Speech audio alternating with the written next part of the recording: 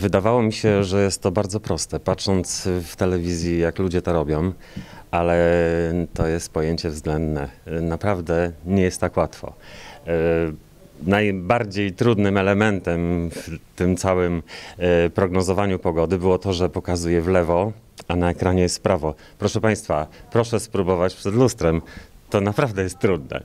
Natomiast y, obsługa telewizji Asta jest tak przemiła, że za 17 razem udało się to nagrać. Obecność Zbigniewa Augustyniaka na naszej antenie nie jest przypadkowa. We wrześniu z okazji 20-lecia Fundacji Słoneczko odbyła się specjalna jubileuszowa gala. I to właśnie na niej menadżer fundacji wylicytował voucher na poprowadzenie pogody w telewizji Asta. Dzięki temu niemal półtora tysiąca złotych trafiło na cel charytatywny zaburzenie całkowite.